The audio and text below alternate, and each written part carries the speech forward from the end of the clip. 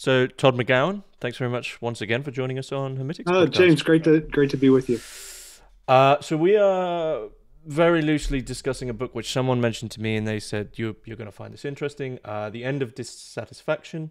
Question mark. Jacques Lacan and the Emerging Society of Enjoyment, which is uh, published in 2003. Um, and I messaged you about this. Said, do you want to talk about the book? And you sort of said happy to, but you know, sort of. It's uh, you, as you described it, an old relic of a book, which you know I think is quite nice, nice way.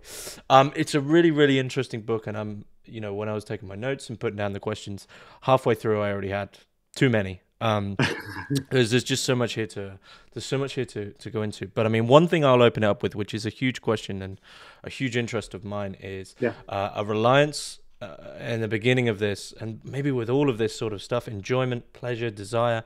Um, uh, a tendency for us to use this word modernity. Right? We go, yeah. ah, it's modern. It's it's modern. It's modernity. Yeah. Do you think that's a thing? Do you think modernity is is a, a thing? Absolutely, absolutely. Yeah, I, I I I use that term all the time, and I think it's uh, I think there, I think it's one of those, like maybe it's the this is an exaggeration, but maybe it's the only historical event, right? Like maybe it's like the fund. I I would say like I think the notion that just the idea that that subjectivity is the starting point for thought. So this the Cartesian move away from like taking God as the starting point for thought and making it subjectivity, and then the notion that like sapere aude that like that that idea from kant like you know emancipate yourselves from your minority like this this minority status. Like i i feel like that's you know that, that that's an epochal event. Yeah I, I i i absolutely believe in that in the idea of modernity. Yeah.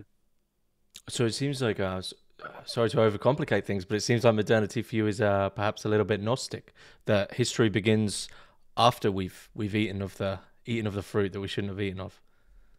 Yeah, yeah, I think that's right. I mean, I think that I think that the the notion of the fortunate fall is a is that I I, I like that idea.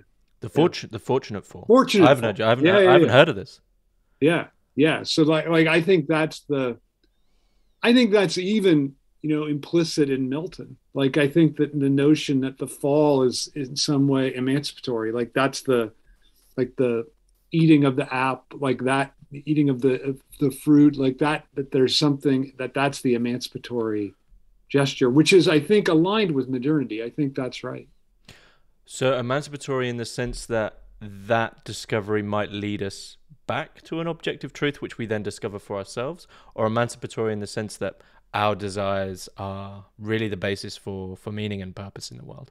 Second. Yeah the second. That that that we are that that that alienation like it fortunate fall in this sense that alienation is not something to be lamented and overcome but something to be to see as what's constitutive of our existence right? So so so then art like you said our, our desire our our structure of fantasy like that's that actually forms the world that we exist in. So I think that only becomes evident in modernity. So I think that's really, so I think that's why for me modernity really has an important. And I I understand all the the terrible things associated with it too. Like I think that I think that that that emancipatory moment also is the moment when racism basically begins, right? So I think that I think that there's all these there's also this whole underside to modernity that comes along with it. But I, I, I think that that if you don't have that, then you're just stuck in tradition. And I think that's a really, to me, that's what we're emancipated from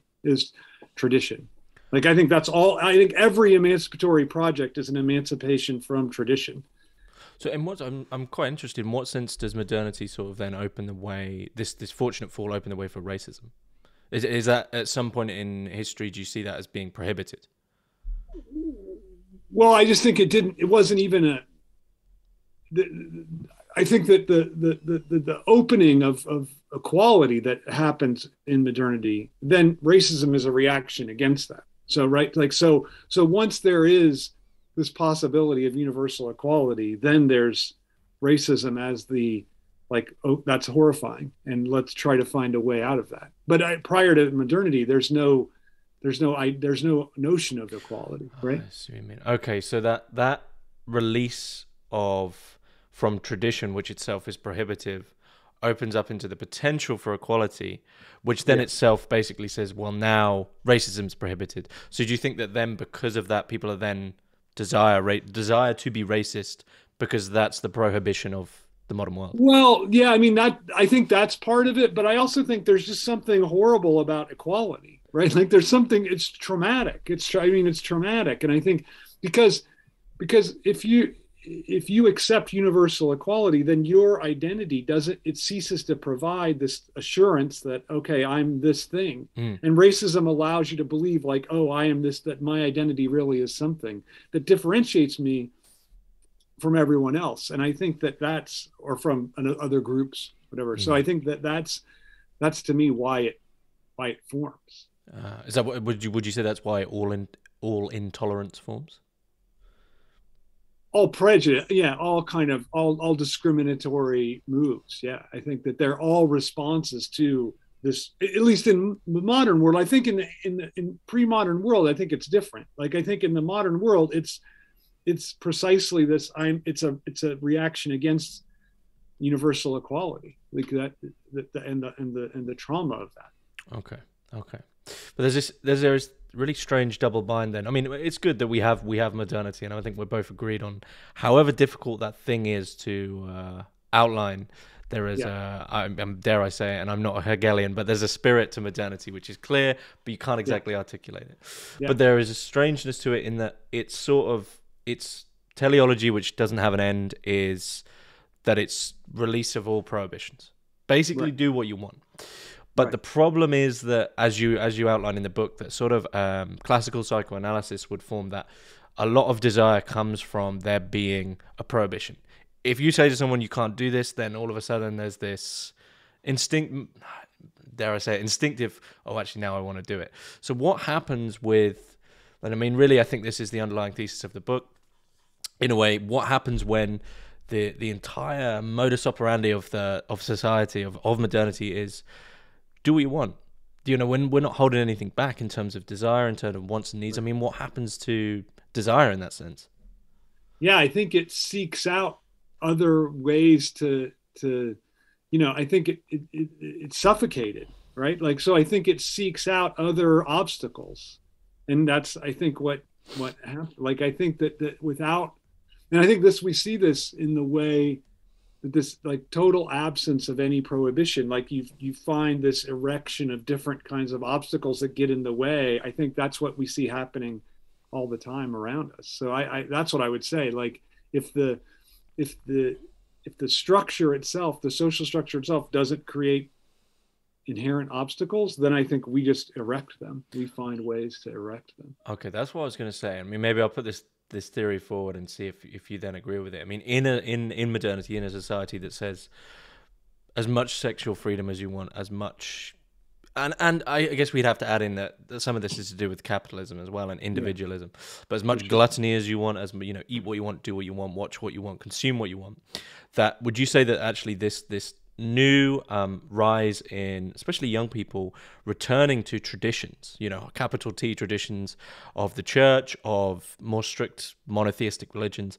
Do you see that as them erecting as you say prohibitions to give themselves value and meaning?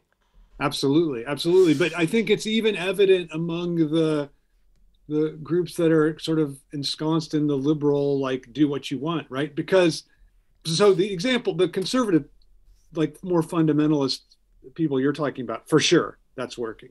But i mm. think it's operative. You know i teach at a university where there's like the students come to me and they come to my office and say i feel such a prohibition on what i can say. Right? Like there's like there's not it's it's like okay a lot of things are like you're you're free to say anything sexually but there's a whole other limit. Like like you're allowed to in casual conversation say fuck there's no prohibition on it at all Mhm. right on certain on on on profane language to do with like the body and sexual but to say something about uh, you know uh, uh, other there's certain other words that i'm not even going to say which are prohibited which which which are not to do with like sexuality or whatever, but they're but they're to do with maybe identity or questions like that. And they're they're and so it's just like I don't even. It's not that I want to say the certain words. It's that I feel like if I even go into that talk about that, I'm gonna step on. I'm gonna say the wrong thing, and then it's gonna be a catastrophe. So I think that there is this sense of like real prohibit, like like the erection of all these pro, like even among the people that are ensconced in the liberal, like do what you mm. want.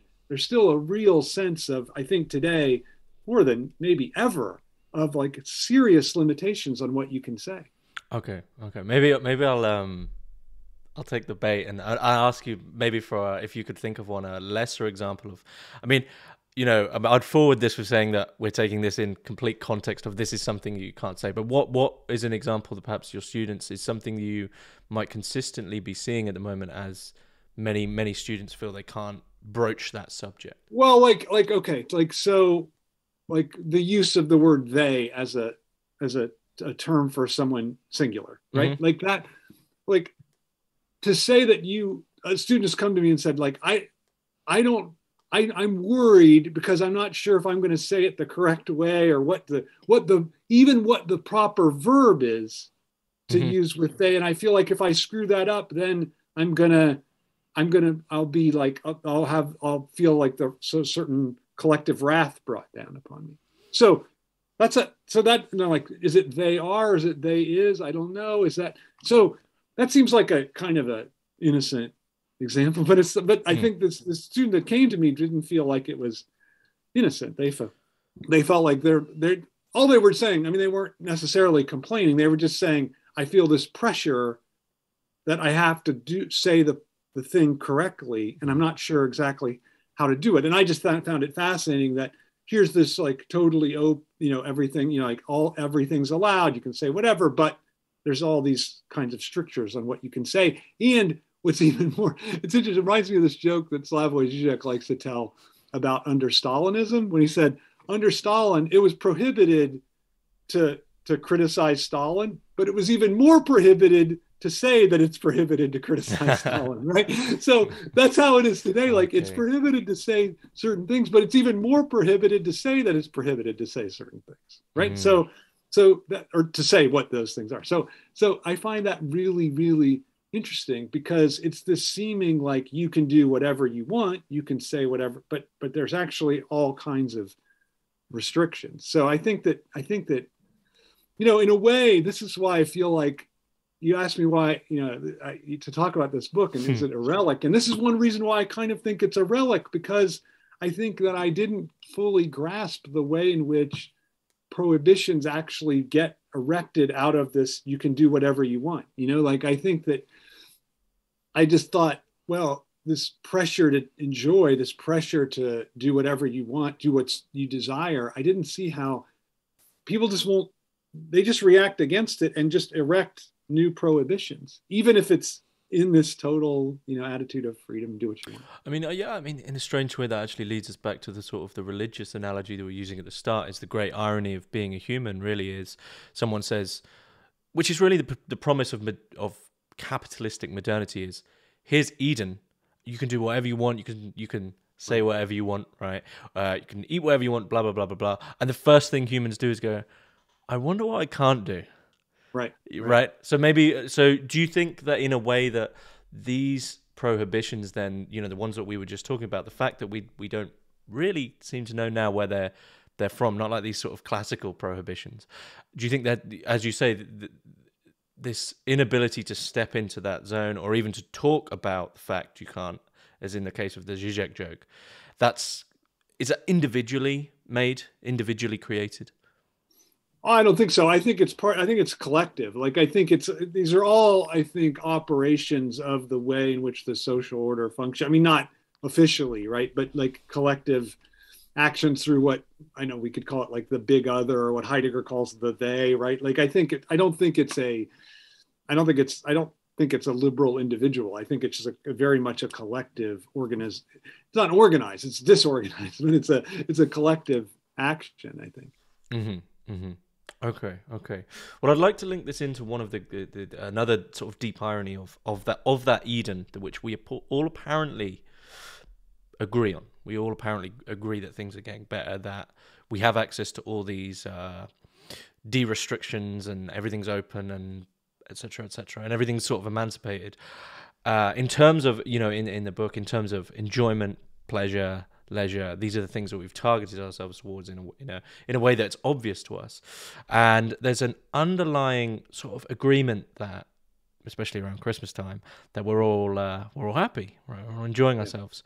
But you and I, I would agree, uh, state really no one is. Um, right. We are entering into enjoyment, but we're not enjoying enjoyment.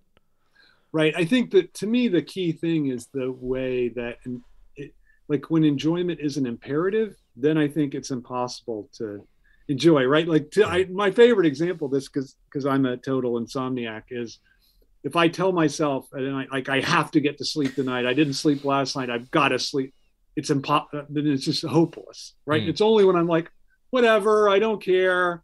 I can sleep or not. It'll be, and then I just I'm out, right? Like I think enjoyment is exactly like that, right? Mm. Like when you feel this pressure to enjoy you're, you're always like looking around like am i really enjoying myself enough? I mean I, i'm sure everyone's been at a hopefully has been at a party where you're looking around going like i don't feel like I, everyone else looks like they're enjoying themselves. I know that i'm not.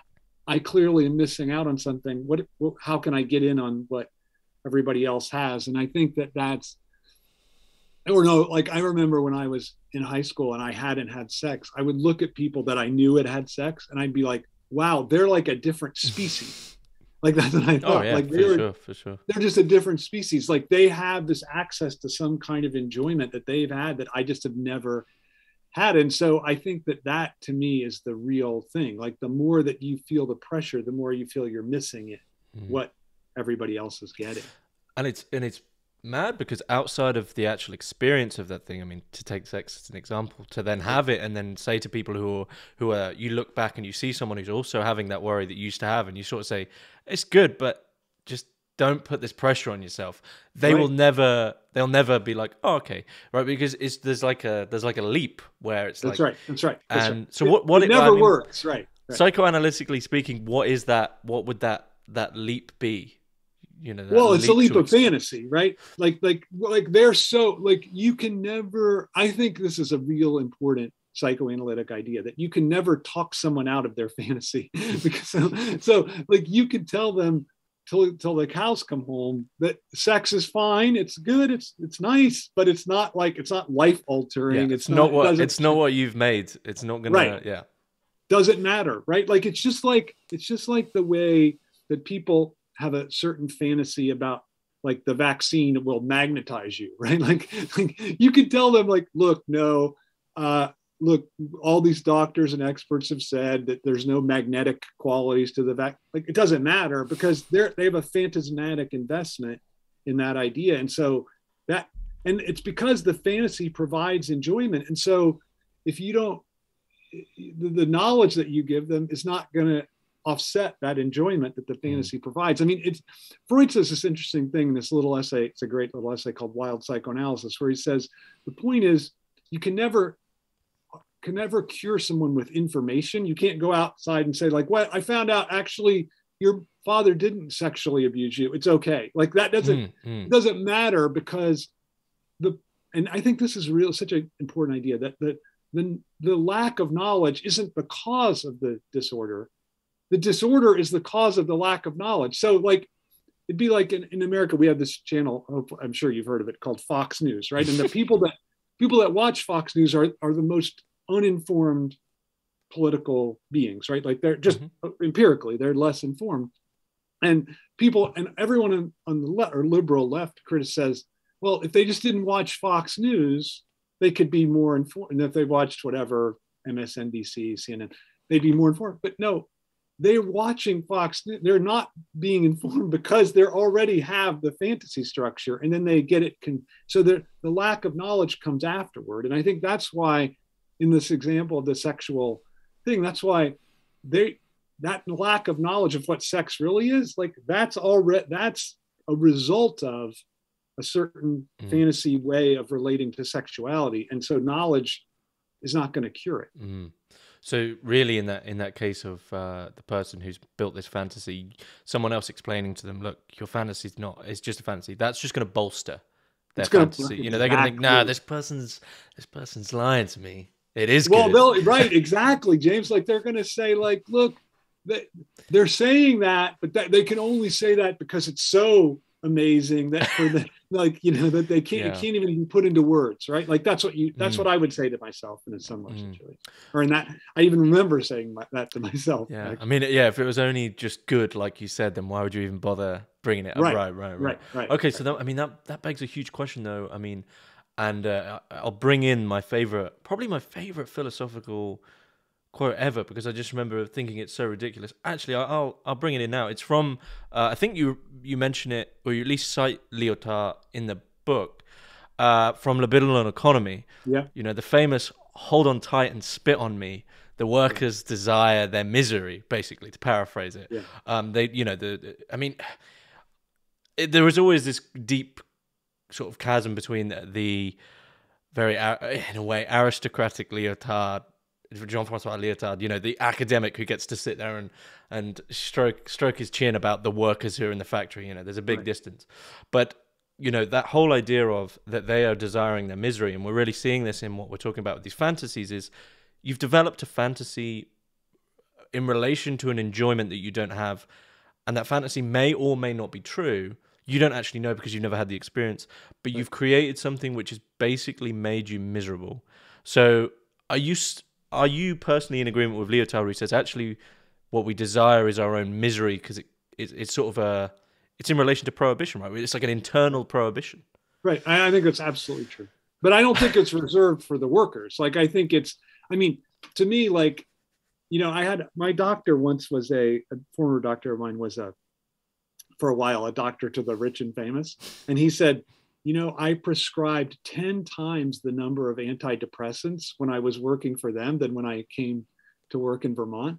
And so I always think I always thought that was such a great little life lesson. Like, so it's not the word, it's even more the rich and elite that desire their their own misery right so i think that i think that i don't think that that's a monopoly on the like the lower working or low class or Mm. working class so i think that's an important thing to say and that i think makes that statement less elitist and Mm. You know like just in the way that you you were critical of. Uh, but i think that's absolutely true and i think the structure of fantasy shows it right? Like think about i i like to use this example like that that if you think about a hollywood film and the relation to the object of desire like the how how much of the running time of the film is the us actually having our desire fulfilled. It's usually like two minutes right? Like Mm. most of the time is we're relating to this object we don't have it it's str- it's painful we're in like even the term suspense we're in suspense we where there's tension. I, I think about the film it's a wonderful life since we're at the christmas season right? Like there's like two minutes at the end where he's like all the people bring and it you know you get a chill everyone brings the money in and it, it's great. But like two hours and 10 minutes of that film are about just misery and you can't say like oh i just watched the whole beginning part just so i can get to the end. No no. The ending is really the alibi so that you can enjoy the whole entire film i think. Like the pleasure of the ending is the alibi for the enjoyment of Mm. the suffering of the whole rest of the film. So i absolutely agree with that idea that, that we fantasize our own suffering in a way in order to enjoy it. Mm, mm. Okay. Well, maybe I'll bring in the absolute cliche. I think we might have mentioned this last time, actually. I mean, Marvel films. Yeah. The the thing is, I mean, I don't know how many of these there are now. I think like uh, over forty at least, right? Right, yeah, and I mean, I remember I always think back to Kurt Vonnegut where he draws the the shape of stories. These stories are the same shape every time, right? There's a hero, they're doing quite good, something bad happens, and then they make a comeback and they finally defeat defeat the big bad villain every single time.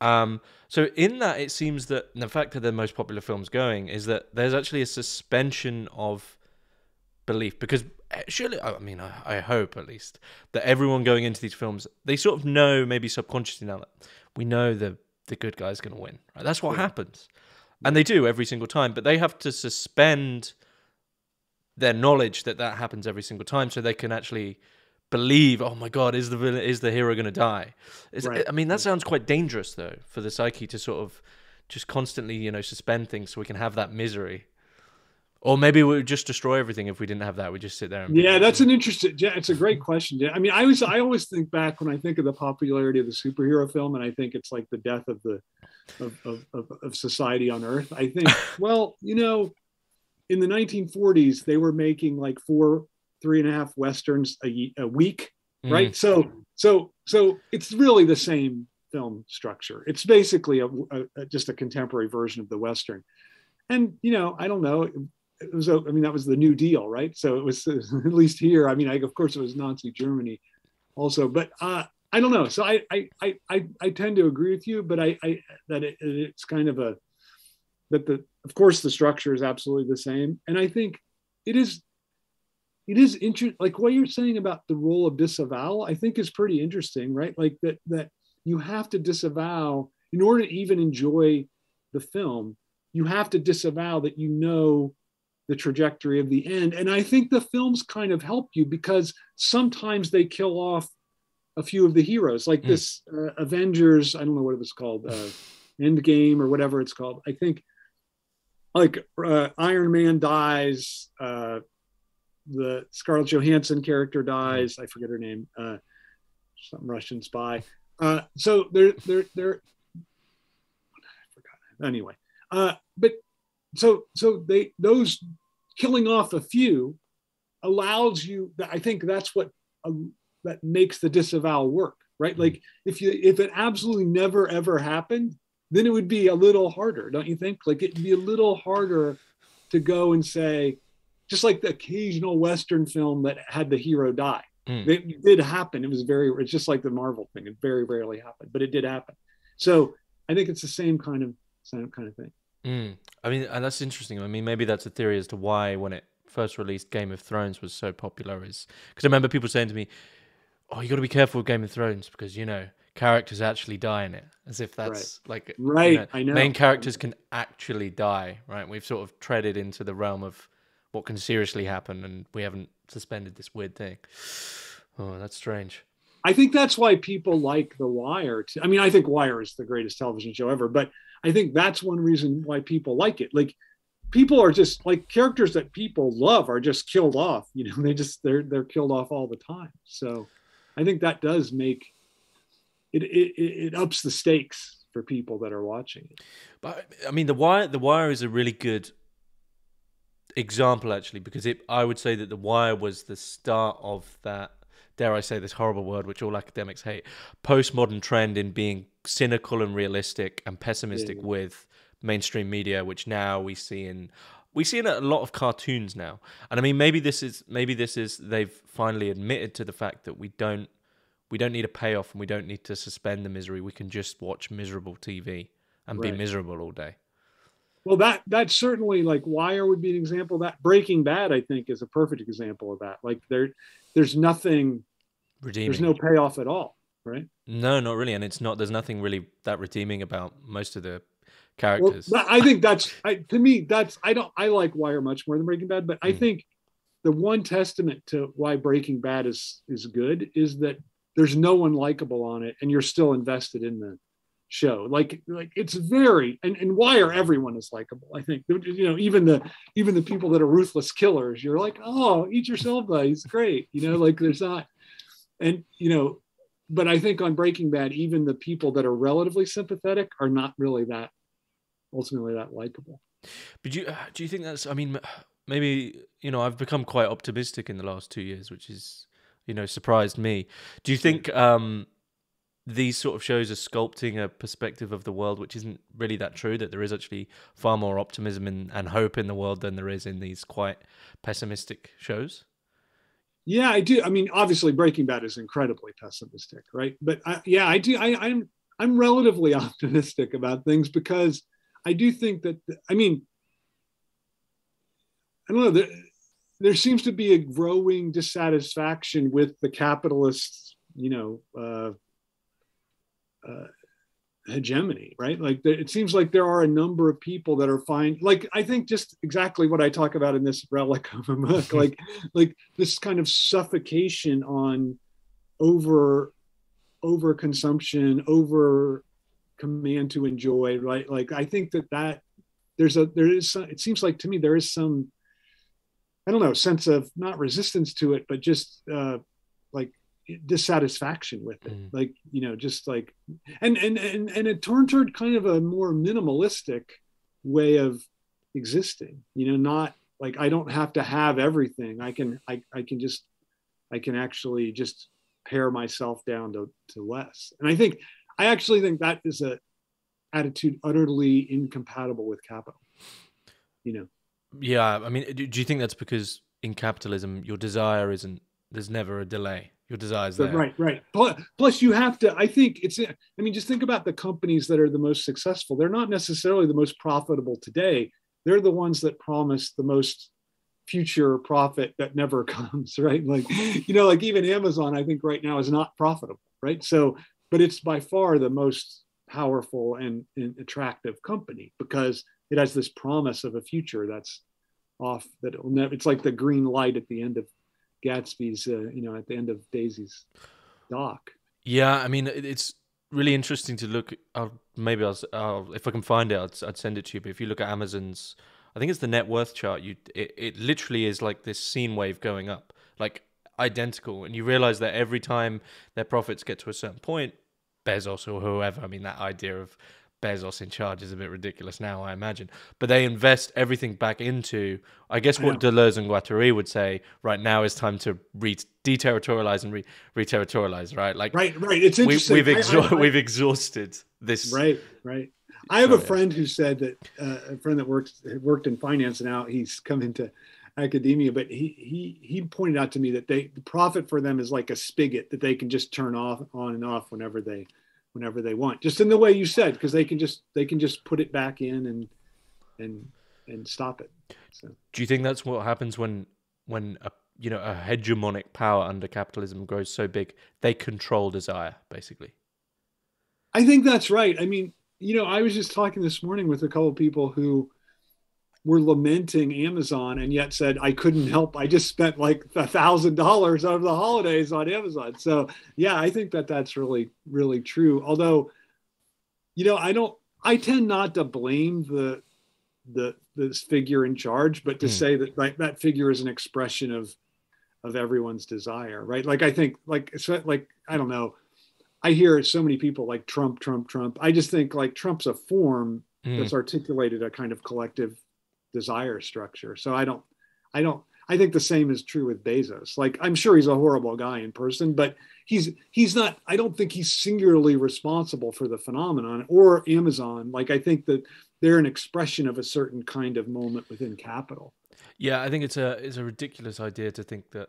I mean, any anyone in that in that sense that that I, I would perhaps agree with this that times have their their zeitgeist, really, their spirit, mm. and people are formed in them. But someone like Bezos didn't sit down at age 20 and go, I'm going to become a multi-billionaire. And yeah, you know, yeah. Like, how it, can I destroy the world? Right. yeah, he didn't and, make that. It's like a process of being dragged along by whatever's. And, well, and I think it's he understood it. True. I guess. Yeah. Yeah, yeah. I think it's so, especially true under capitalism, James, because there, you know, there's there's certain objective structure, and if you don't play by the capitalist rule, you just fail, right? Like like if you don't like say uh, you know uh, offshore jobs well some other company's going to do it produce the same thing for less and then you're going to be out of business. So it's not like oh there's a like i remember when michael moore made roger and me the first documentary and he, he, he like attacked nike for their outshoring of, of jobs and i was like okay, yeah, that's bad of Nike, but they're just responding to the exigencies of capital. And if if Nike didn't do it, then Adidas and New Balance, they'd all do it. They'd sell their shoes for less. Nike'd be producing these shoes no one would buy because they all they'd cost they'd be made with American labor, they'd cost more. So it just it seems to me like a, a way of not understanding the way capitalism works. Like capitalism, you're never the individual isn't guilty right like that's the whole that's the whole point like that because they're completely interchangeable like someone else if you didn't do it someone else is going to do it i think mm. and i think that's i think that's a really important and i think too often the left gets involved in this like individual like oh there's certain bad guys yeah i don't know I mean, this is a big, big discussion that I've always been interested in. Is this, this within capitalism, this, this balancing act between, you know, down with the corporations, but also, well, you know, it's like yeah, Amazon's bad, but who's buying from Amazon? And I mean, where do you stand in relation to that? You, just mentioned your friend who said, you know, I really hate Amazon, but this morning I just bought a thousand dollars worth of Amazon. It's yeah. like, do you think it's a balancing act? Like it's actually the it's it's a responsibility of both, or do you think well, actually, if individuals collectively said, no, I'm I'm not buying from Amazon anymore, do you think that the responsibility is with the individual? Well, I think it's both. I think you're right to say it's both. I mean, I, I don't think you know, yeah, I think there could be this collective decision, but then if you're buying from somebody else, what's the difference? I mean, I'm not, I'm not so keen on this, like, uh, I don't know what do they call it, like conscientious capitalism, conscientious consumption. I just think like those that seems oxymoronic to me. You know, I just, you know, I, I, I yeah, I don't, I don't, I, I don't think that. I think once you're on the once you're consuming and buying, then you're consuming and buying. I'm not sure that it's like okay, one company might do be worse for the environment than the other, but I I, I don't know. Mm. I mean, they're I think they're mostly interchangeable. Do you, do you think it's? I mean, everyone consumes because people have to eat and live. Yeah, do you think it's how you're mentally consuming? Like, there's a capitalistic I, I way of right, consuming. right, right, right. Exactly, exactly. Right. Are you invested? Have you bought into the capitalist fantasy of like I can I can find this. You mentioned Garden of Eden earlier, right? Like I can I can return to that Garden of Eden where there's a or a land of Cockaigne where I can I can there's just you know the fruit falls from the tree into my hands. Like I think that that I don't think my idea would be I don't think capitalism can function without that fantasy, without mm. that fantasy of some. this is why I think the alienation of modernity is also has even though you're right to say modernity is capitalist but there's also this underside this other side not underside other side that's anti-capitalist within modernity because it says no my alienation is constitutive. I can't be overcome no matter how many commodities i get. Whereas i think capitalism has to say to us you get the right commodity or enough of them you'll overcome your alienation. Like that's i think mm. bezos he goes up into space he thinks oh I'll, i can avoid alienation once i leave the earth's uh, gravitational field or whatever right? But no you're still suffering alienated. He comes down and of course what could he say? It was amazing. It was trans no but of course what was it like? It was probably like it was bumpy. Mm. it wasn't that great. I mean i can just imagine. Like it's like the sex thing we were talking about. Like he has to tell us it was it was like amazing, but it's like the opposite of the sex thing because he wants us to invest in that fantasy of what he experienced, whereas any normal person would say like, okay, space, I guess it's fine, but you're still like the same. You're like, I don't know if you've ever seen it, but Adam Sandler does this thing about he, he's mocking. Have you seen this? It's a he does it's a it's a he's mocking a travel agency, and he says like we could take you to all these places, but the problem is that you're still you when you get to these places, right? And that, I think to me, that's one of the great lessons of psychoanalysis, right? Like you, the, the, that that alienation is constitutive, and no matter what you get or accumulate, you're stuck with that. Mm. And so I think that that is what, but capitalism cannot abide that. I think. Oh, absolutely not. I mean, it was always one of my favorite things to hear when people say they've gone traveling. I'm going traveling to find myself. Well, yeah, you, yeah. you're already here though. So, but um, I mean, it's really interesting that you mention Bezos going to space uh, and obviously Musk going to space because yeah. actually I didn't I didn't really put two and two together until now because I had a question about you know you mentioned uh, Thoreau you know Walden and this this you you read Thoreau's uh, journey to Walden Pond where he lived for a while as this journey out of the order of the symbolic right some some attempt to get out of it and I mean dare I say it is Bezos th- doing the same thing as Thoreau. Yeah, no, absolutely. I think that's absolutely right. Right, like he's trying to like the attempt to get into space is to get out of that symbolic structure that pens everyone else in. Right, like. Mm. Oh look, I and that's why there's this competition among them. Like I'm going to be the one to get at. Like I think the Virgin Airlines guy too, right? He Branson, he wanted to. They, they all wanted to go. I think he beat Bezos, and that was a thing. But Musk too. Like they all have that idea of of of escaping are like they think oh if we're on mars we don't have the symbolic structure we don't have constitutive lack we don't have all these you know mm. things that come with being so, so beneath that it seems that what that journey symbolically is is a means to like put another few thousand miles on our desires right? So it's like oh man you have to go to space yeah, you know, like, yeah. but we'll never know. So that's something now. That's, that's right, right. huge Can you leap. imagine? right. it's the perfect thing, right? Because most of us have no way of ever affording to be able to do that. Mm-hmm. And yet, you know, he comes back, he's like, it's amazing. And everyone, there's no way you come back and are like, well, it was fine. you know, like you just, there's no way someone's going to say mm-hmm. that. So I think you're absolutely right that it's putting a few more miles between us and the fantasy object. Maybe because the problem with Amazon is it brings all the fantasy objects too close. We can get them in two days, right? If you mm. have Prime shipping. And so this way, he's going to say, well, wait a minute. There's still some fantasy objects that even Amazon can't can't get you.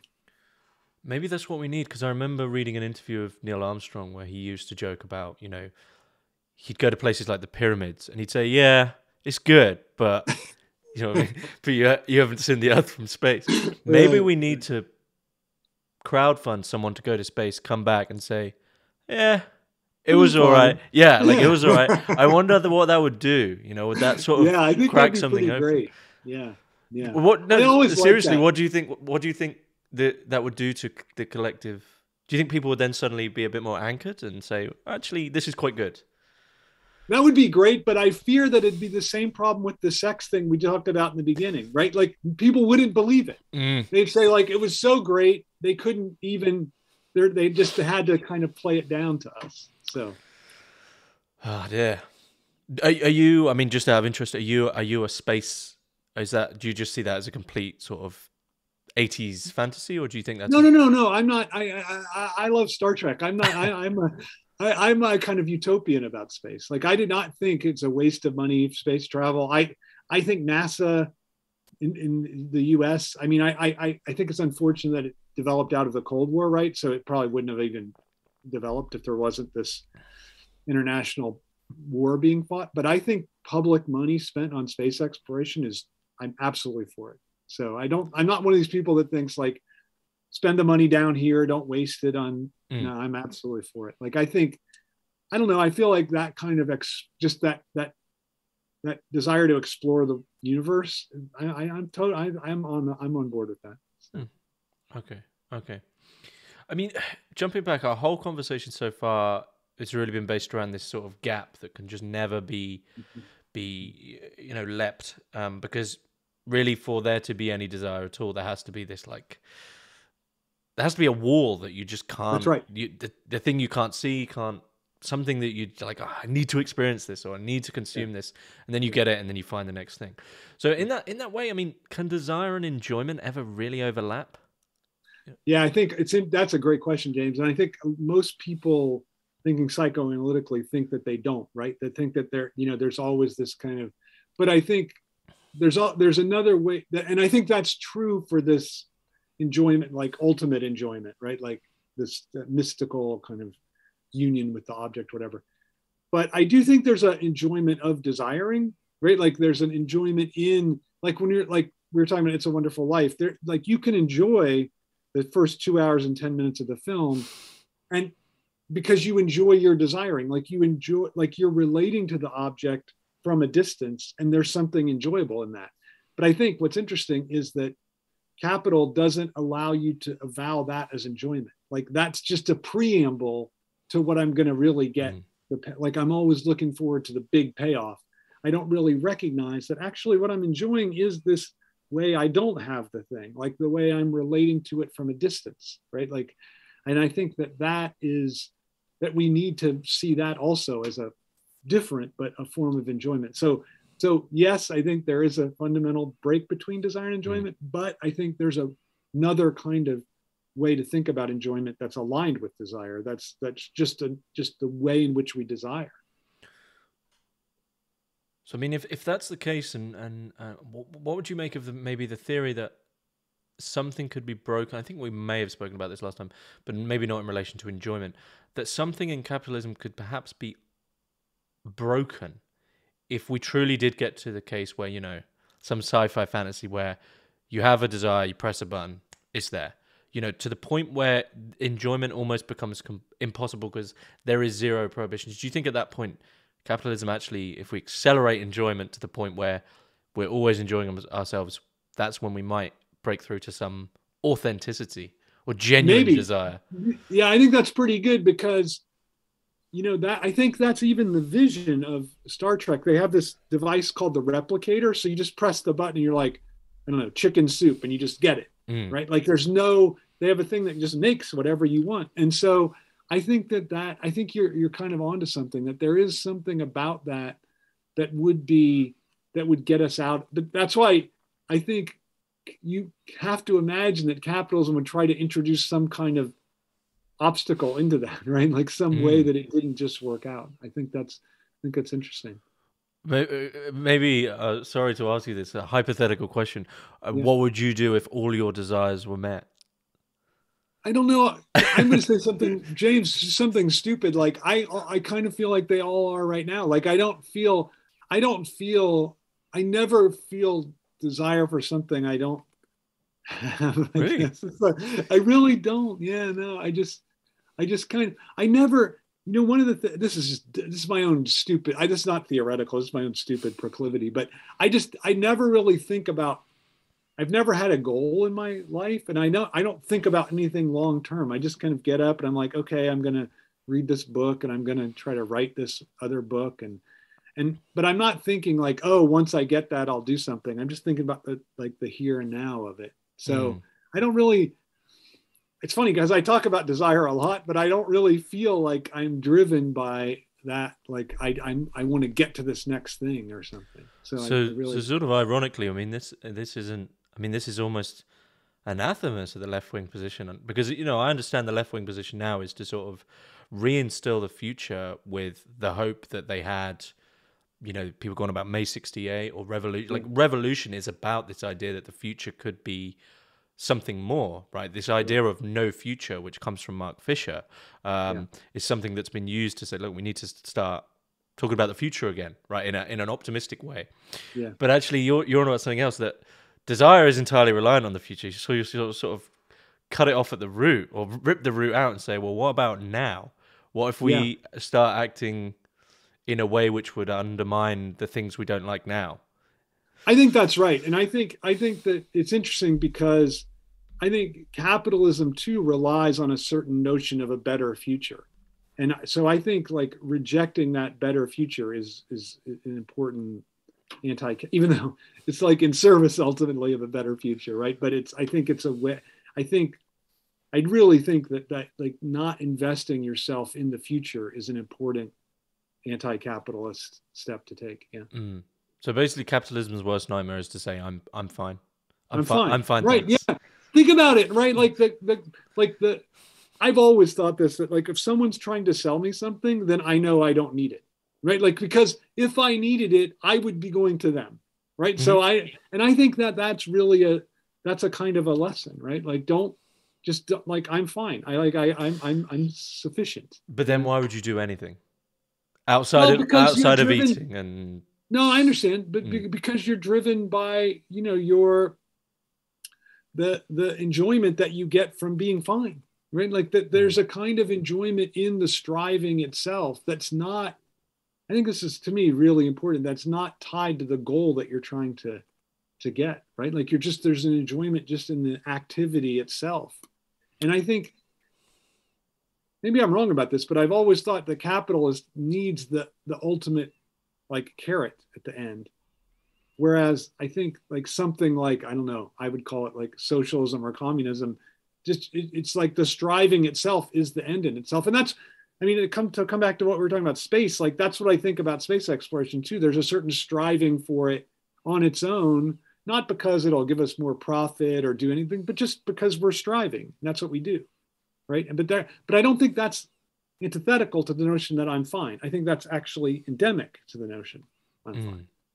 So do you do you do you think in a world without advertising that there may still be people who, you know, want the fast car or the flash suit, but they want it for their own reasons in a way. Yeah, maybe. Yeah, you know what I mean? Like- question.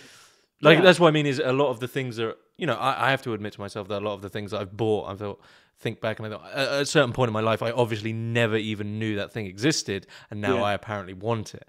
So I wonder if in a world without adverts or a world without that sort of coercive no you really need this dishwasher or whatever would there be people who would say like would would come to that conclusion. They actually probably do need it. right. Yeah. Right. I think that's probably true. Like I think we shouldn't be.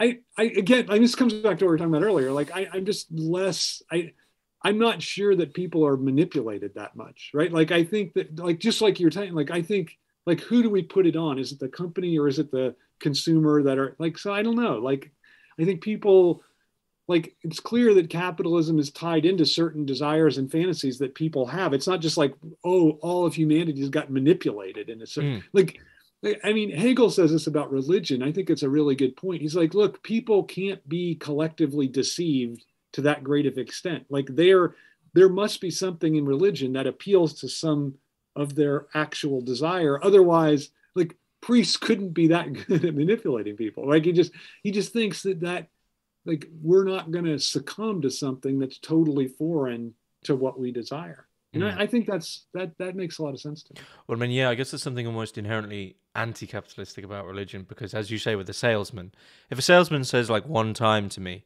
"You should really this thing," that's like a, a little bit. But if they kept selling it, I'd be like, as you said, Yeah, right. I'd be like, right. well, hang on, why, why do you, why do you feel the need to Right. persuade me? You know, Right. Are you, uh, do you mind if I ask? Are you a religious man? Uh, I guess so. Yeah, yeah. I mean, it's interesting because I grew up really a fundamentalist, and then I broke from that. Mm. But I have to say, when I wrote my uh, book on Hegel, I kind of came around to a kind of Christianity that that was different than what I grew up, much different than what I grew up with. But I liked this notion in Hegel of God as divided, God as split, and I, I, I, I I'm and and and God and, and this this split of God manifesting itself in Christ. I really found that very appealing. So, yeah, I guess I, I guess I am. So more of a is that a, uh, sort of a free Christian, as they, as they call them, right? That was like Kierkegaard. You know, yeah, don't- yeah. No, I love Kierkegaard too. But uh, yeah, I, I think that that something like I, I like the notion that in Christianity of the that, that that Christ is the death of God of the beyond. And I think that I'm not sure that there's another way of thinking that gets us out of the notion of the beyond that in the way that Christianity does. And I think that's to me, and I think you're right to say that capitalism and religion are in, certainly anathemas, or at least Christianity for sure. Um, but I, I think that, and I, I think that capitalism, just like you were talking about, relies on this notion of an ultimate beyond. Mhm. And I think Christianity really is the rejection of an ultimate. Even though I think most Christians are invested in the notion of I'm I'm going to become Christian, so I'm going to get a payoff right at the Mm. end. But I think that's anathema. Yes, I would agree. I mean, I would say that to think about it in the terms of you know bearing one's cross, capitalism would want to invent invent a gizmo to carry the cross, right? That's right. That's and they would right. want to keep inventing better gizmos as about, as opposed to, well, maybe you should just suffer, but not. I don't know. It's the misery. It's acceptance of misery. Is No, I think that's I, I'm absolutely for acceptance of misery. Yeah, I think I'm absolutely for it. Like I think that you know a friend of mine, uh, Rick Boothby, has had this thing about Casablanca. You know, he said like so in Casablanca, Rick suffers from Ilsa dumping him right in Mm. Paris, and then in the end, what does he do? He like makes her dump him again, basically. But he does it right. So so he so hi- Rick's idea was this is really what enjoyment is, right? Like it's not like this pure suffering imposed on me. It's like, okay, I'm going to see this misery, this suffering, and I'm going to actually impose it on myself. Mm. And I think that to me, I think that's a pretty good way of thinking about enjoyment. So going back right back to the start of a conversation about you know Yeah. those when you're a teenager and you're yearning to lose your virginity. Really, we should be saying to those people, you don't understand. You're enjoying yourself now. This is real Right. enjoyment. Right, right. Absolutely right. Like I I think back on that a lot because I think that was the time when I was really I don't think I ever had as intense enjoyment as I did when I was looking around and imagining and fantasizing about the sexuality of others, right? Like that. So, and I think once you cross that line, you're like, eh, you know, it was like, you know, so- And it's and it's tough as well to sort of go back to the fantasy that you had. You know, you can't because it's it's. I don't think you can. Do you been think you can? I think you can. Yeah. I think you can sort of recollect, but it's in a weird memory because it's a complete state of mind. Yeah, yeah, it's And- really hard. Yeah, I think that's right. I guess it's, it's the Wizard of Oz thing, right? It's like behind the curtain, and you can't then step out because then you know you're pretending.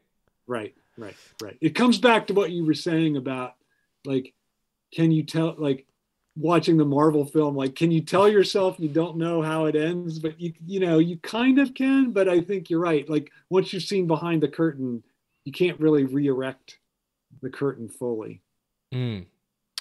There's a sadness to that, though. There's a sadness. I think that that's loss. really true. Right, right. Like I find. I mean, I'm not going to say what my particular fantasy is, but I I still kind of live out the same or have the same psychic fantasy but I it's it's it's in a sad way, like you're saying, because I, I I don't really believe it anymore. But I don't have another I don't have another one to go to because it's the one that I have- structured my entire I life. have the I have the same thing. I have the same thing, and I, I'll happily admit my fantasy because mine has been exit, basically doing the Thoreau exit to the woods, Oh, Heidegger. good. but I know, Yeah, yeah. right? I know. I mean, I've done had jobs with hard labor before. I was a carpenter for a long time. I know that on the first day of that fantasy, I would be getting up at like you know seven in the morning, going to get water, and I'd think. I wish I was back in my cozy office, right? And now I know that. I'm like, why did you admit that to yourself? You know, why did you dispel it? right, right. It's right it does i think it's just really hard like you you still you don't get rid of it right you still have the fantasy but you you relate to it differently because you've you, just as you said you see behind the curtain So there is a pro. and So enjoyment then is it's a self prohibition of don't be too self critical about your fantasies. right i think that's right i think it is i think it's a kind of self i think it's a you erect your own like that's the thing isn't it? Like you take on you don't rely on the other to provide the obstacle. Like you see the way in which i'm responsible for my own obstacle and i can and can i enjoy can i enjoy that obstacle? Like that's the thing. Like can i enjoy the obstacle that's in the way of getting to my fantasy object without trying to get to it? Because once you actually get to it then it's it's kind of just like we're saying it's kind of mm. collapsed.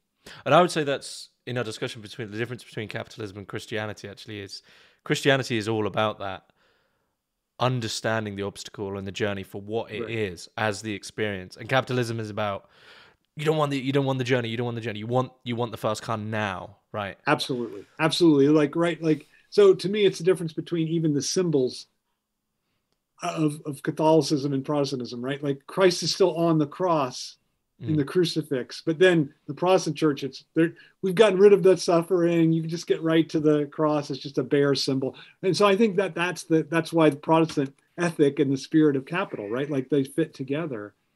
Uh in it's been it's it's made to fit right? Like i think you're right that it's absolutely alien but then it's it's like jury rigged to fit into the capitalist structure. Well, they well they they took away all all tradition in the Protestant, so you know you no longer have like.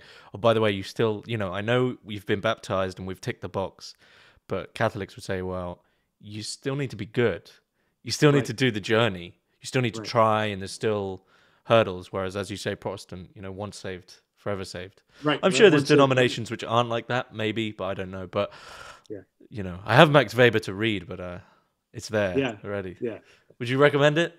It's good. Yeah. It's it, it- the problem is that you can, if I gave you a précis of that book, you've already read that book, right? Like it's not one of these books that has like a lot of other things. Like the ba- it has the basic idea, and that's just that's it.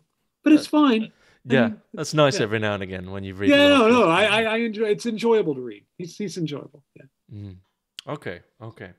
Um, uh, one thing I'll add in um is, you know, just because I mean I'm sure you you you must have seen it in the news and probably thought about it a lot, but do you see the metaverse as as, as a step in the Well- in a wrong direction in a very yeah worrying- absolutely and i also think it's totally you know that that's interesting. I didn't think about that in terms of this book but it would be like if i was writing that book today that would be my main example of like this is a world where you can or a universe you can go into where you don't have to suffer from any kind of prohibition at all right like that's the whole that's the whole point but it's interesting because I, it's not a good movie, but Steven Spielberg made this movie Ready Player One, which is actually about a metaverse. I secretly love it because it's so so much. It's too much. I, I agree. It's too. That's a, no, James. Is exactly what you're saying is exactly right, and and I think it kind of shows exposes the problem with the idea,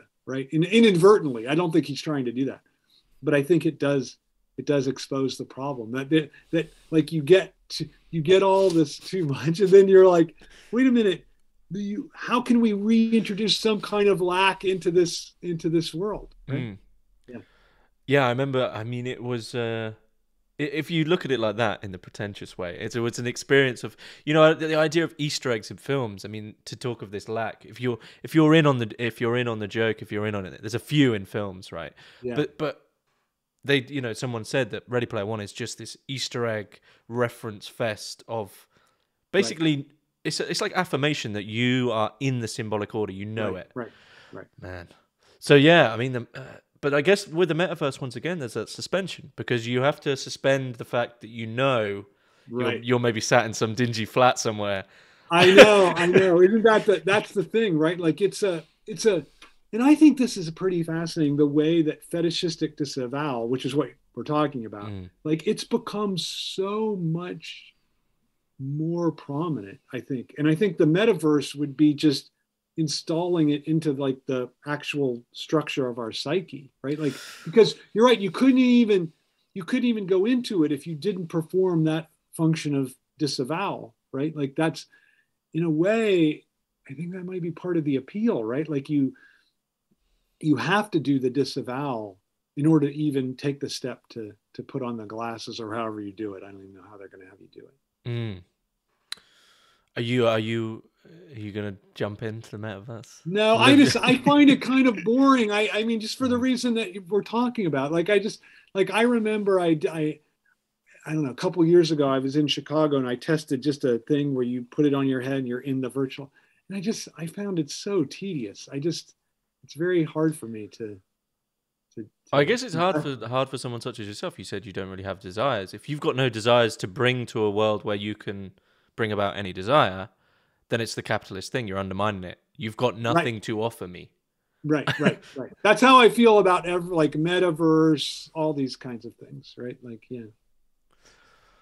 Well, I, I mean, I'm I'm sort of interested. I mean, when you say you've got no desires, what's the last thing you bought and you uh you you maybe thought I never knew I wanted this, you know? Uh, oh well, okay. I, yeah, I, I have actually a good. This is a good capitalist desire. So, I, I I have a little. We have a little fund from as professors, you know, and so mm-hmm. we can use it to buy stuff. Uh, and I'm going to buy uh, Freud's Werke in German. So that that's that's my and it's pretty expensive. It's like over a thousand dollars. So oh, his whole it collected. Yeah, his whole thing. It's just yeah. collected works. So okay. So that, that that's so that's I'm pretty excited about that. did you did you imagine it on your shelves where it's going to go? Uh, well, I have the collected works in English on my shelf. Yeah. So, and I, and that was also like $1,500. So, uh, so there, so I have some things. Yeah. I have Hegel's collected works in German and that's, you know, it's not, but I don't care. Like, I don't put it prominent where people can see it. I just, you know, I like to have them all there, but I don't, it's not so that people can see it, you know? Yeah, but I mean, is that doing the same thing that you're? That's actually making it so you hope people will you're like, you know, they go near it and you're. You, no, I don't. I, I, mean, James, I can see why. I'm kidding. I'm kidding. I'm but kidding. I don't. I don't feel. I don't. I don't feel that way. Like I. I mean, maybe unconsciously, maybe you're you're right about that, but I don't. I get maybe I do. no, but maybe maybe it's telling of my sort of capitalistic psyche that I'm not saying I don't believe you, but the the fact if you said to people, "No, I'm actually not fussed," if you, see, I just have this. If someone said to you that they had a really flash Porsche and they yeah. and they, it was out in their drive or tucked away, and they said, "No, actually, I'm I'm actually not fussed if other people see it." We would be reluctant to believe that because we know that their desire, we believe their desire is to do with. Right, right. Let me just say, like, I, I, we have a ton of DVDs, and I know now that DVDs, no one has them, so that mm. it seems unusual that we have we have like two thousand or something. So when people come in and they see them, I feel ashamed. I kind of feel that way about the Freud too. Like I'm like, eh, it's a little expensive I feel like why did I spend it on that? So I feel ashamed, but but I don't know like the the the I guess here's the one thing that I'm secretly proud of when they if they see like the collected Hegel in German, like it took me a lot to learn German, so I'm kind of like proud that I can read Hegel in German, and so I I, I guess about that one I, I I do have this kind of secret like oh well if they see that then okay So There's nothing wrong with pride, though. There's nothing wrong with being proud of something. I guess, but it's tied to commodity, right? Mhm. Like it's yeah, yeah. I feel I'm more in favor of shame than pride. I have to say, I don't. What do you, I, I don't. what do you mean? Uh, You make it, know, you'd make a, you'd make a good Catholic. I know I would. I would. I just is a pathology. I just feel. I just. It's just my own pathology. Like I. I don't like any kind of attention brought to my whatever I've done. Like it just. Like you know. So this is an example. It's a stupid example, but our school, ha- our department puts all the professors' books in a sh- in a glass case. I would never, ever, ever allow any of my books to be put in that case. Like I just think like to like show off to like Why do Like- you Why do you write? because I think well I know like that's a good point. Like maybe it, there's secretly this. I'm not. No, I'm not saying that you're. Uh, I'm not doing that thing where unconsciously you want people to see it because there are people who write, publish, and it's like, you know, I just wanted to write.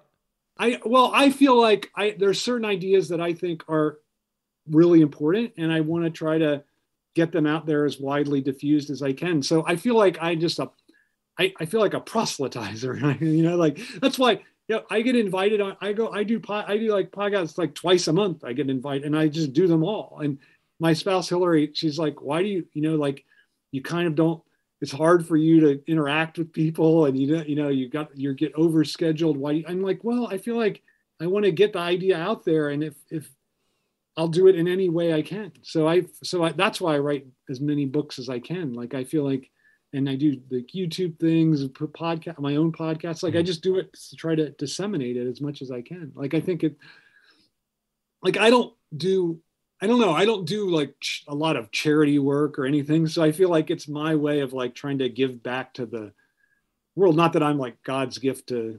No, no, no. I. I, I completely. Uh, that's that's. I mean, maybe we're both in the same. Well, I think we're in the same boat because that's how I see it as well. Uh, Yeah. Is like, well, I don't, I don't.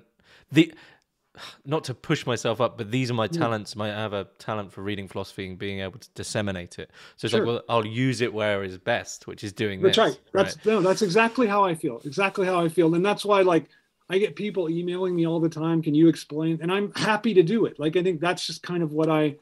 That's sort of my, what I can give back, what I can do. So Do you sometimes get caught out there because I'm, I'm much the same. I mean, I've uh, I have asked you a couple of personal, more personal questions on this, somewhat related. But sometimes when people have interviewed me about the stuff I've done, they'll slide in a sudden personal question. I'm I'm like taken out of the, the you know the the zone I'd cordoned off the conversation to be about. It's like, are we talking about philosophy? Fine, and then someone will ask about something else. I don't mind that because James, like my whole teaching method, I just was reading my evaluations for last semester, and they're like, "Well, the class is fine, but there are all these personal anecdotes. I don't know what the hell they have to do." So, like, I use that all the. I use like my own life and existence as a kind of theoretical example all the time. Hmm. So I don't have any problem with any kind of personal.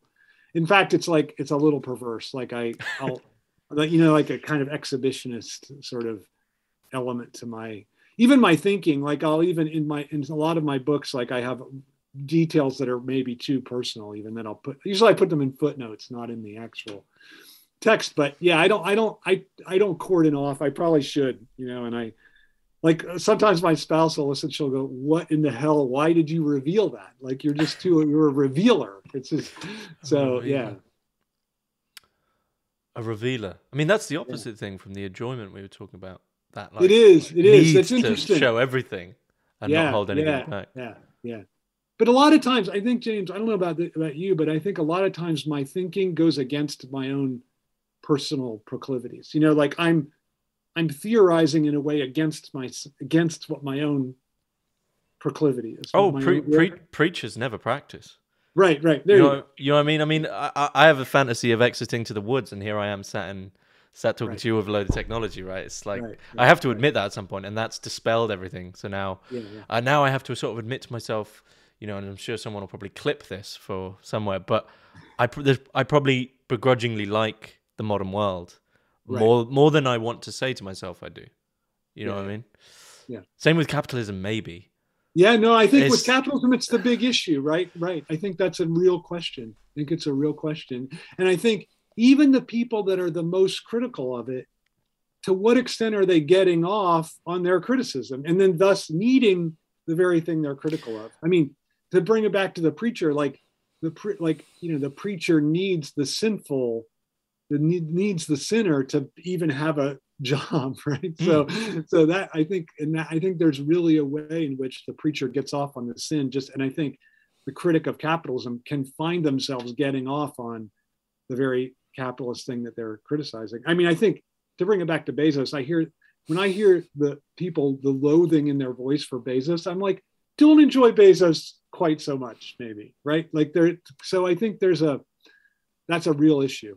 I think. Yeah, I uh, uh, you know that, that that construction of Bezos as a symbol, and I mean, like like a lot of sort of people who've been pushed to, and I, I sort of like this about Elon Musk that when he gave one of his public talks on stage about the the one that's meant to go to Mars a couple of years ago now, he was like going, um, um, uh, he's really awkward guy, and I remember thinking yeah, yeah. that's sort of no offense to uh, Musk, you know, he I think he is just quite a nerdy guy yeah, who's then been pushed in this position, but I like that as a dispelling of the the figure, right? Like Bezos is probably just a dude.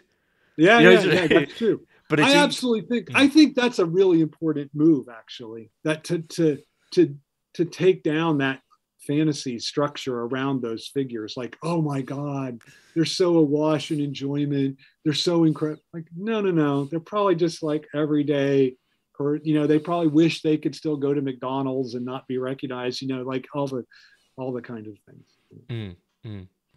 well luckily i don't I don't have that problem so right i don't either right i could no. still if i ate meat i would go to mcdonald's quite are, are, you, are you vegan yeah I, I'm I'm I'm I'm I'm vegan only functionally just because I I can't eat dairy and, and I don't like eggs. So, but I'm not. I don't have a kind. I do, I'm vegetarian, like politically, whatever, but mm.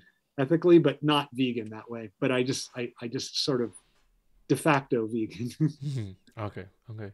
And um, I will. Okay. And, and if I don't mind the suffering, I'll go out for. In Vermont, we have this thing called a creamy. It's mm. basically it's like a soft serve. It's a funny word, I know. Like it sounds very sexual.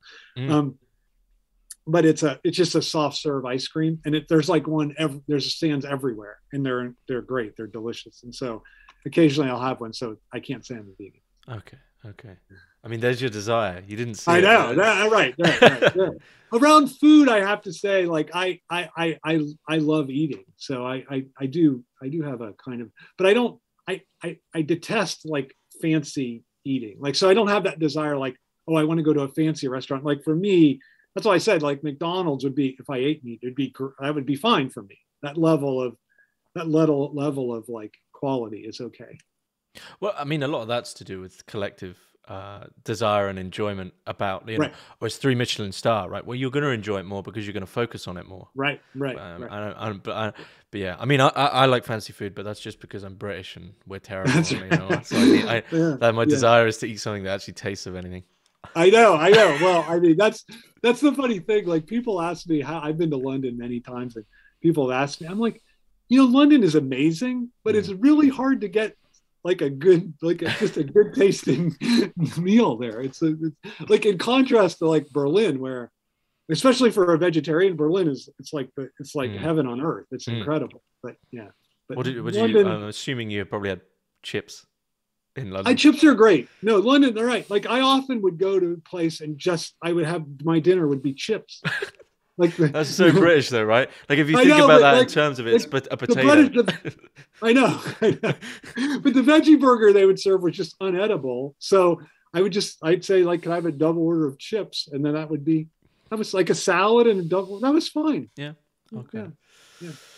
Uh, well, um, are you are you uh, working on any books? at the moment? Yeah, so I have this book coming out in next late next year, I think, called The Racist Fantasy. So that's about that's what coming out.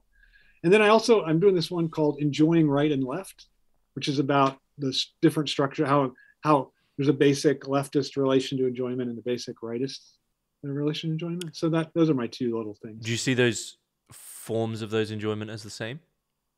Well, the idea is that enjoyment is just one thing, but there's mm-hmm. two different ways to relate to it and that the the right has to relate to it through the other like through the other that we hate as the enemy right like okay. so so under like anti-communism it'd be the communist enjoyer it'd be under like today it'd be the immigrant who's enjoying but we through our hatred of the immigrant. That's how we enjoy. So that's the so whereas with the left, it's identification with that figure, right? Like so.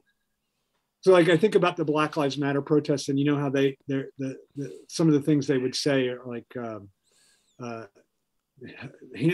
hands up, don't shoot, or I can't breathe. Like they like identification with the figure of the outsider, excluded figure of non-belonging, not we need the enemy. So that's the basic structural difference. Is it possible to live without the other? Politically?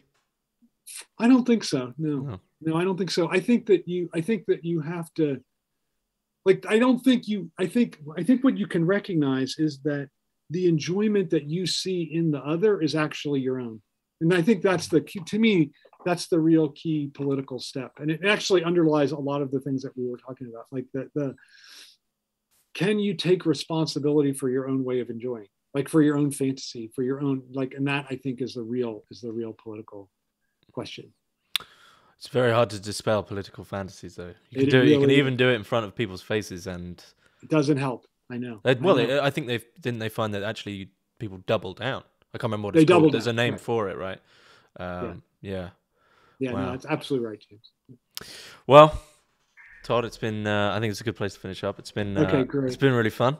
Um, I yeah, I love. To, I love chatting with you. Thanks. Uh, I look forward to your your two new releases, and hopefully you'll come on again to uh, anytime them. you want. Anytime. Cool. Okay. Thanks. Take care. Todd McGowan, thanks very much. Thanks, James.